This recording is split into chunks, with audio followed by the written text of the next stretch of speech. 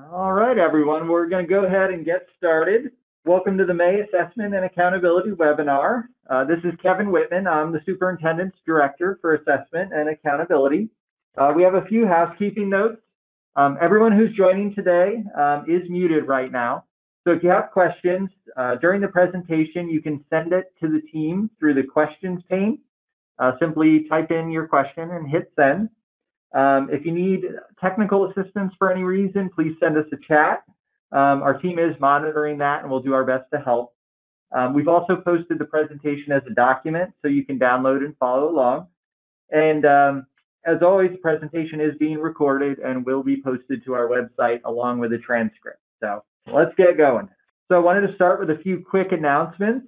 Um, first, the summary student, parent, and staff survey reports are now available in eProof. So these are for the engagement surveys that everyone participated in um, during February and March. Um, there's going to be a disaggregated version of the student survey report as well. Um, and that's going to be released by um, 525. So a little bit more time until that's available. Um, for the parent and staff surveys, you're also able to download the CSV files in eProof. Um, those CSV files are useful because they provide the free response option where the users could enter comments. Um, so those don't appear in the reports, but they do appear in the CSV files. For the student survey, um, the CSV files are available as well, but they are not built into the eProof reporting system. So if you'd like a copy of the student comments um, for any survey participants uh, for your district or school, uh, contact us and we'll set up a secure transfer so you can get that information. Uh, we also have an update on the alternate assessments for ELA and math. So as we talked about previously, uh, we originally planned to conduct standard setting um, this summer so that we could produce scores for the new alternate assessments in these subjects. Um, however, we did have to delay that until next summer so that we would be able to produce valid and reliable scores. Um, you know, given the ongoing disruptions this year, um, that seemed like the appropriate course of action. However, in the meantime, to meet federal requirements, we anticipate producing raw scores for the alternate assessments in ELA and math. And those uh, should be available in the reporting system um, at the end of the year. Um, but uh, that only applies to ELA and math. Uh, we're not going to have any scores, even raw scores, for the new alternate assessments in science. Um, and our expectation is that those valid and reliable scale scores and performance levels are first going to be available after next year's administration. So that's when you'd be looking for kind of real meaningful scores. Um, that's when we have that opportunity to conduct standard setting um, next summer.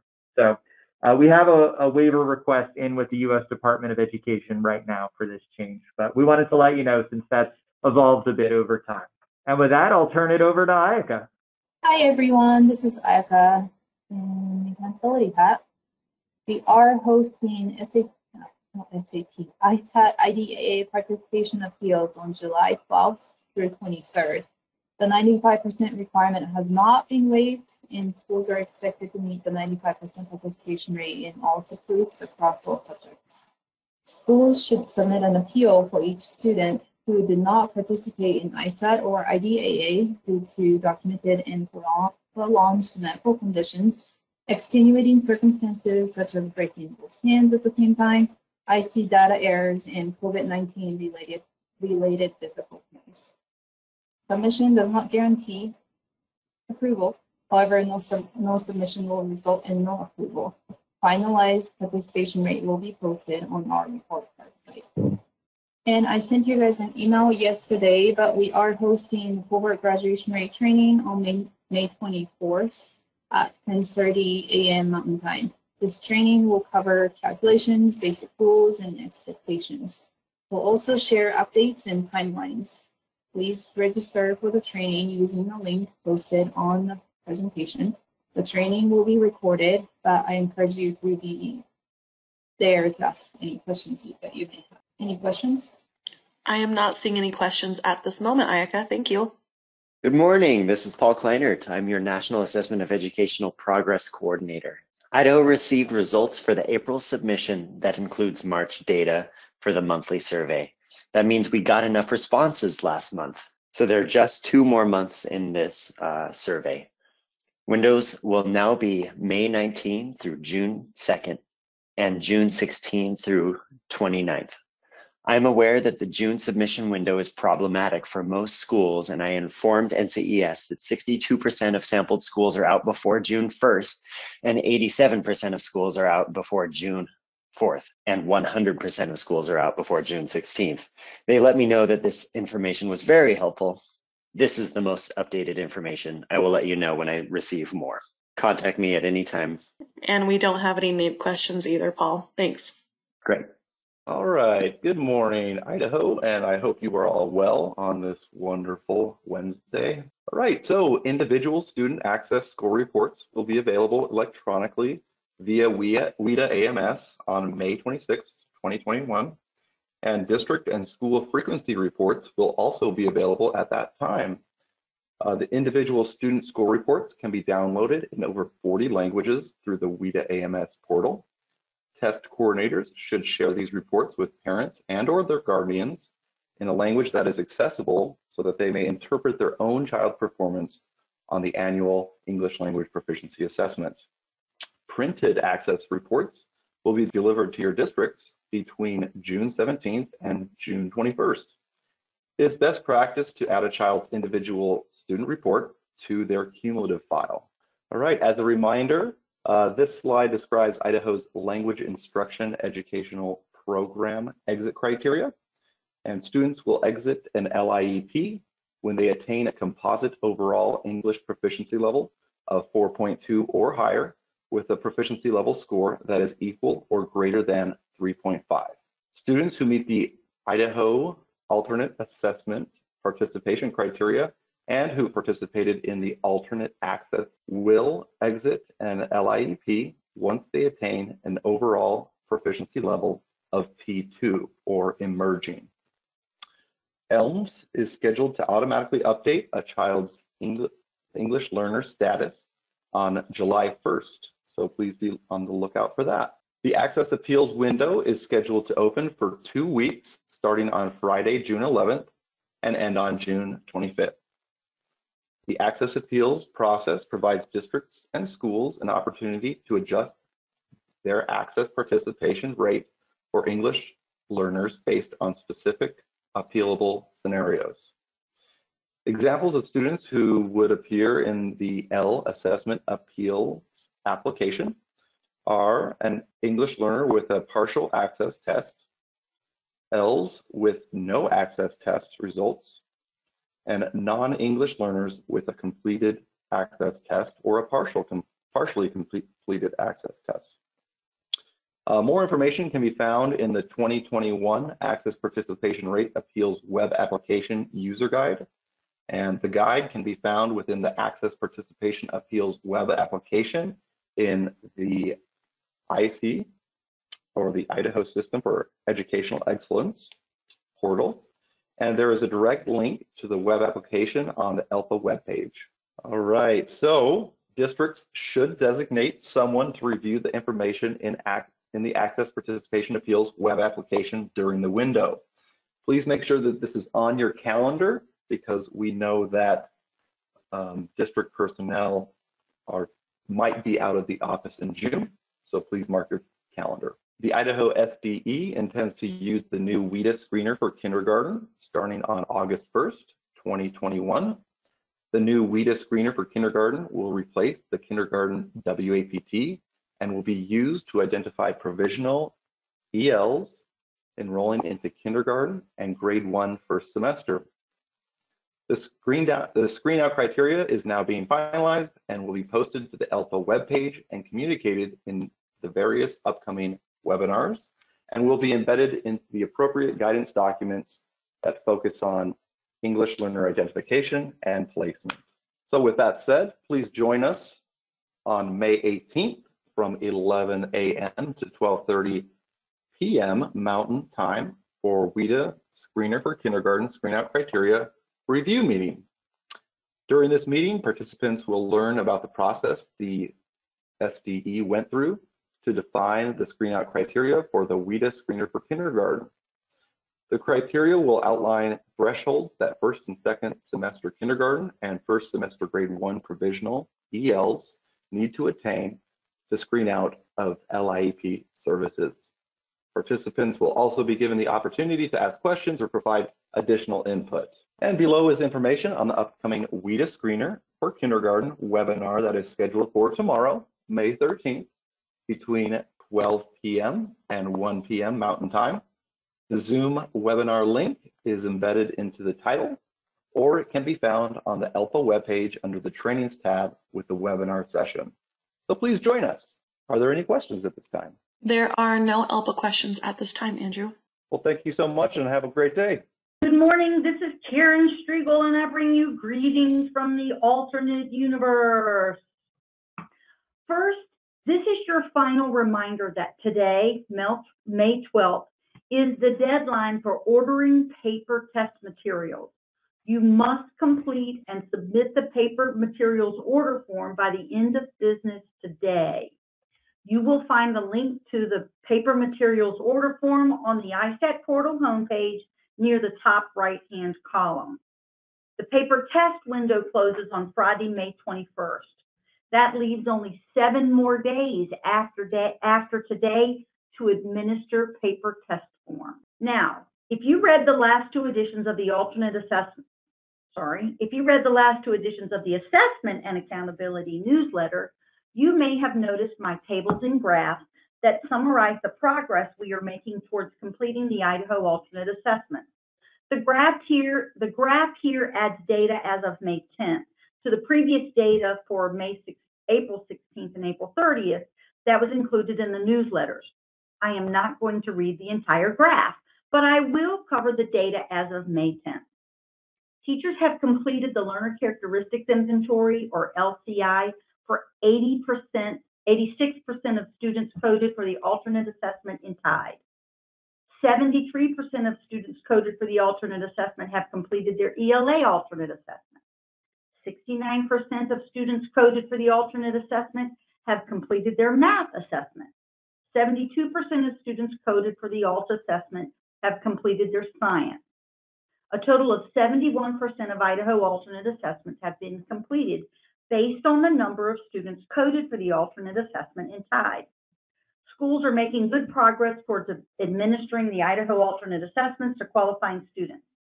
You have seven days left to administer the alternate assessment fixed form with printed response option cards. That's part of that paper test window. And 12 days left to administer the plain Idaho alternate assessment. Keep breathing. Don't hesitate to contact me if you have any issues. Hey everyone, uh, Kevin Chandler here at the department. A few updates for science. So remember the science ISATs are required for students in grades 5, 8, and 11. Testing windows for in-person, online independent field test, and the remote online fixed form both close on Friday, May 28th. Also remember that for science ISATs, there are no paper pencil and no Spanish translations because we are administering an IFT.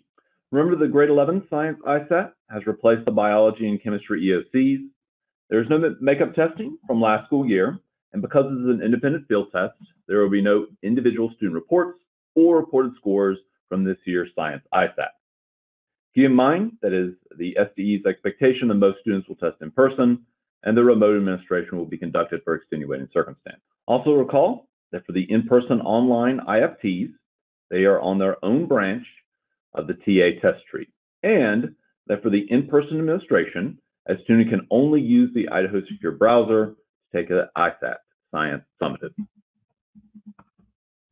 The remote testing window also closes on Friday, May 28th. Students in grade 5, 8, and 11 who are in districts that have received approval to administer the ISAT Summative remotely will take these online fixed forms. The expectation is that most students will test in person and therefore these remote online fixed forms will only be used in situations where the district is approved to administer summatives remotely. The remote online fixed forms are on their own branch of the TA test tree. As you can see here, the remote fixed forms are on the remote ISAT summative science branch. From there, a TA can pick the 5, 8, and or 11 science fixed forms to include in the test session. And just like the in-person tests, students have to use the Idaho Secure browser to access the remote ISAT summative science test. As you're wrapping up science ISAT testing for school year 2021, do not forget that the test improprieties and monitoring test progress task in the administering test columns in TIDE. See the TIDE Test Improprieties Quick Guide and the TIDE Test Improprieties PowerPoint on the ISAT portal for, for descriptions on how to prevent, detect, and escalate test incidents and how the TIDE Test Improprieties platform can be used to request appeals for test improprieties. Monitoring test progress is also an important task, especially considering additional personnel serving as test administrators and students taking the test either in person or remotely. Check in often to generate reports to track session statuses, verify participation, and see test completion rates. At the state level, the percent completion rates are also being monitored. On the left is the in-person testing, on the right is remote testing. Both sets of data were pulled on Monday the 10th. A few notes on tasks complete after testing. The after testing column in TIDE is used to record appropriate non-participation codes. Reference the table on page 75 of the TIDE user manual for a summary of special codes and their description. A special note on parent opt-out requests. So, as I've noted pr previously, students in grades 5, 8, and 11 are required to participate in the science summative testing for spring 21. Since spring 20 testing was waived, Idaho SDE knows it is important to gather as much data as possible to determine student achievement and address any potential learning loss issues. Nevertheless, parents and guardians may still persist in requesting an opt-out for their child for spring 21 summative testing. LEAs and or school leaders can work with parents to inform them of the importance of gathering student performance data for school year 2021. The LEAs and or school leaders may then decide to grant the parent's opt-out request.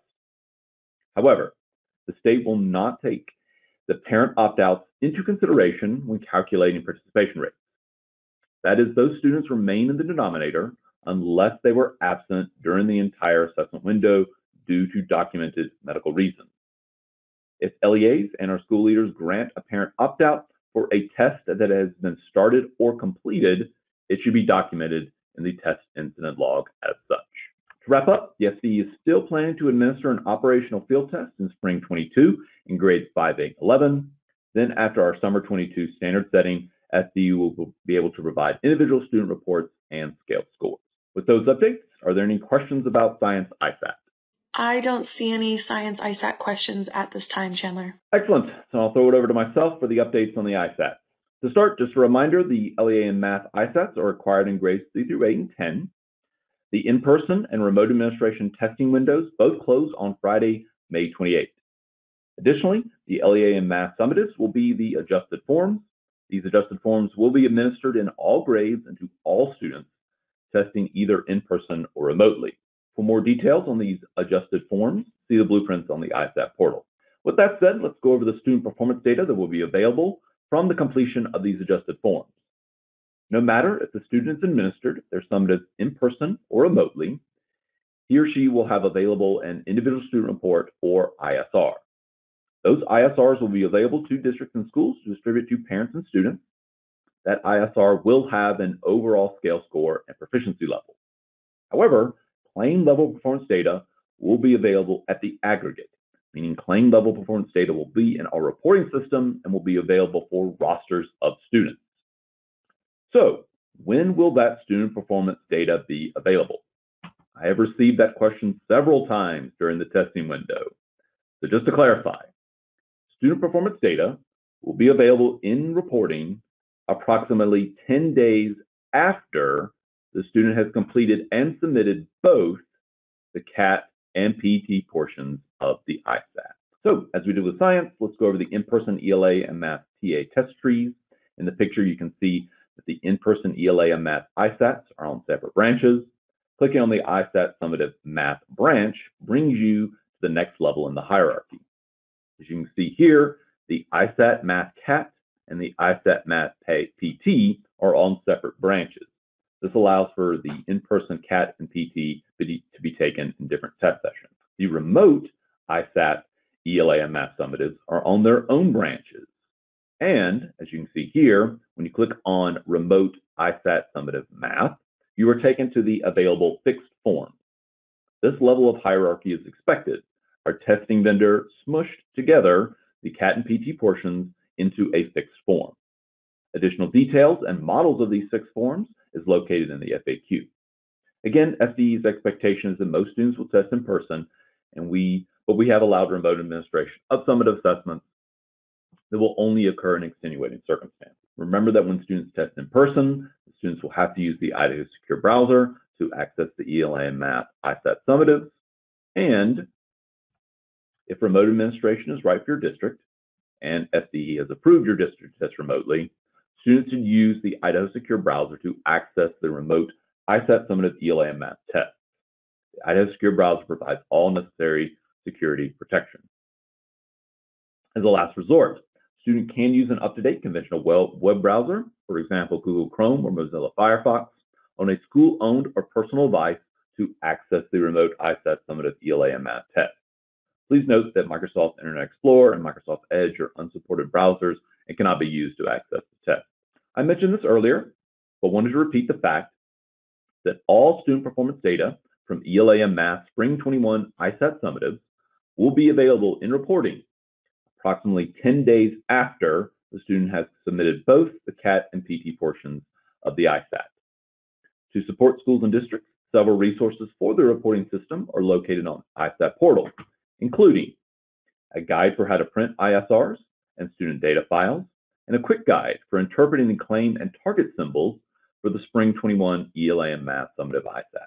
Additionally, two new parent brochures are available on the ISAT portal. These brochures, one in English the other in Spanish, provide parents and guardians with guidance on understanding the information in the individual student reports for the Spring 21 ELA and Math ISAT. Brochures also answer a few frequently asked questions and offer direction on where to find additional resources. Other resources relevant to the summative testing on the ISAT portal, those resources are organized by subject, ELA Math, Science, and IDAA. Included in the ELA and Math folders are the blueprints for the adjusted forms, and a chart that summarizes scale score ranges and proficiency levels. Speaking again of remote administration, SDE has published several resources to support remote administration. These resources will be available throughout the ISAT testing window, which closes on May 28th. As I mentioned during the science section, it's important to note TIDE test improprieties available to DAs and DCs and to monitor test progress for the ELA and Math ISAT. See the TIDE test improprieties quick guide and the TIDE Test Improprieties PowerPoint on the ISAT portal for descriptions on how to prevent, detect, and escalate test incidents, and how the TIDE Test Improprieties platform can be used to request appeals for test impropriety. As for the state level percent for completion rate, here's the data for in-person, ELA, and Math ISAT. This data was pulled on Monday the 10th. Pretty much all the ELA grades as CATs and PTs are near or slightly exceeding 80% completion. For math, a lesser percent completion rate for each grade's as CATs and PTs. Those are mostly around 60%, and only grade 10 is exceeding 75% completion for both CATs and PTs. For the um, remote administration, both ELA and math are between 80 and 90% complete. Just like with the science, the after testing column in TIDE is used to record appropriate non-participation codes. Reference the table on page 75 of the TIDE user manual for a summary of special codes and their description. So I went over this during the science section. We'll want to go over it again. Students in grades 3 to 8 and 10 are required to participate in summative testing for Spring 21. Since Spring 20 summative testing was waived, the Idaho SDE knows it is important to gather as much data as possible to determine student achievement and address any potential learning loss issues.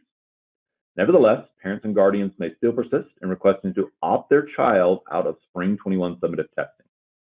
LEAs and our school leaders can work with parents to inform them the importance of gathering student performance data from school year 2021. The LEAs and our school leaders may then decide to grant parent opt-out requests. However, the state will not take the parent opt-outs into consideration when calculating participation rates. That is, those students will remain in the denominator unless they were absent during the entire assessment window due to documented medical reasons. If LEAs and our school leaders grant a parent opt-out for a test that has been started or completed, it should be documented in the test incident log as such. Okay, just a few more resources I wanted to draw your attention to. Remember that practice and training tests will remain available even after the testing window closes on May 28th. Using a supported web browser such as Chrome or Firefox, anyone can log in and take a practice or training test. Students testing remotely can also use the Run Diagnostics feature to test internet speed for taking or administering a summative test. Lastly, keep in mind the important dates and secure browsers on the ISAT portal. And with that, are there any ISAT questions? We do have a few at this time, Chandler. The first is How is the performance on the PT figured in the overall score of the ELA and Math ISAT? What percentage of the total score? Yep, that is an excellent question. Uh, we have followed up a couple times with our testing vendor to provide us that information. I'll follow up again uh, so I can uh, uh include that uh, in the uh, question and answer portion of today's webinar. Thank you. Next, to clarify, when will the remote ISAT results be available? Same as in-person regular ISATs? Yeah, so with the remote fixed form, remember that the CAT and PT are both smushed together into that fixed form. So that means after the student has uh, submitted their fixed form, that approximately 10 days after the student has submitted that, scores should be available in reporting for those remote fixed forms. Thank you. When will interim assessments become available after the summative window closes? Yep, our summer interim testing window opens on June 1. Thank you. When will the parent brochures be mailed out? And I can actually answer this one. Um, I was I got notification yesterday from the printer that he shipped out the far reaching uh, addresses yesterday and will probably ship out the closer ones by the end of the week. And the next question Is there a way to provide a digital copy of results to parents? And I can do this one as well. Um, we have the PDF versions of both Spanish and English on the assessment website under ISAT. And the next in the parent opt-out scenarios you provided, do we complete the test incident in Just Tide, or do we also have to complete an incident report in the SDE site? Yeah, so remember that you're going to be noting that in the uh, test incident log, uh, the SDE test incident log. Um, remember that the Tide test improprieties uh, is if it requires uh, an action on our part. So since it's not requiring an action on our part, you do not have to document it in the Tide Test Improprieties platform. Thank you. Are districts required to send home a hard copy of ISAT scores? Uh, I'll throw that one over to Whitman to answer. Uh, no. Uh, so you uh, you do have to submit scores. That is, or uh, provide scores to families. That's in code, but it does not specify the format for that. Um, so you could use a paper format or an electronic transfer of that if you're uh, comfortable and confident that the um, family would be able to access that still. And it looks like that actually answers the last question as well. So that is it for ISAT. Thank you. Excellent. Thanks so much, everyone. Uh, now I'll throw it over to Taylor for an IRI update. Hi, everyone. This is Taylor for IRI. As you all know, the spring IRI testing window is now open and closes on May 28th. I've been watching those completion rates climb over the last week or so, so thank you to everyone for getting those done. And if you have any IRI questions, please feel free to call or email me at any time. A few reminders. There are a few enhancements coming to iStation in the fall that we have mentioned in past webinars, and a new one that I was just informed about. First is iStation application movement to web through WebAssembly or WASM. We've been talking about that one for a few months now. Second is PowerPath, which will be a new user experience for all iStation users. The estimated rollout date has been set for August 1st. iStation has provided an introductory video for Idaho to briefly show and explain the new features for this enhancement. If you're interested in that video, it has been uploaded to Edmodo and the access code to the course is right there on the slide. And a brand new enhancement that I was just informed about is the new educator platform. There will be two main portions to this update. The first will occur in fall, estimated around August, and the second will be introduced in January. This enhancement includes a new onboarding experience, a new homepage, and new ways to investigate data from the administrative side. As with other enhancements coming this fall, we will give you all more details as it gets closer. And another thing to note, none of these enhancements will interrupt the current testing window. We just want to give you all an adequate heads up. And that is it for IRI. Are there any questions? And I don't see any popping up for IRI, so thank you. Okay, everyone. Um, thank you for joining us. Our next webinar is going to be at 10 a.m. Mountain on Wednesday, June 9th. Um, you can find links to register for that webinar or review any of our previous webinars um, on the Resource Center page at our assessment and accountability site. Um, and uh, you can also register for this upcoming webinar using the direct link that we have available in this slide. So with that, um, if you have any final questions before we wrap up, we'll stay on the line a little bit longer. Um, and as we discussed earlier, we'll also include all the questions and answers um, in the video that we post um, and the um, transcript. So um, those should go up later this week. Um, we just need a little time to make sure the documents are accessible. I did get a follow up question, Whitman. We haven't received the last two newsletters via email. Are you going to resume sending those out or will we need to get them from the SDE site? And Kevin, I don't know if you have an answer for this, but Dave, I know that Morgan did send out that the newsletter last week, but we have been getting reports that a few people have not received them. So we're trying to figure out what exactly happened with that, with that mass email sent. So we will try to get those that figured out. Yeah, uh, thank you for for letting us know about that. Um, I'm not sure what's going on. We will certainly uh, continue to send them out via email, so you won't have to um, kind of go to the website to find them. So whatever kind of tech issues happening there, we'll try to track that down. And I don't see any more questions, Kevin. Okay, with that, uh, we'll close it out. Um, always feel free to reach out to us uh, anytime if we can help with anything. Thanks for working with us. We know this has been um, quite the year, so appreciate everyone hanging in there um, and uh, working with us to to manage the assessment process. And if if you do need to reach out to us, email or phone are fine. Um, and we're again happy to assist. So thanks very much, and I hope you have a good day.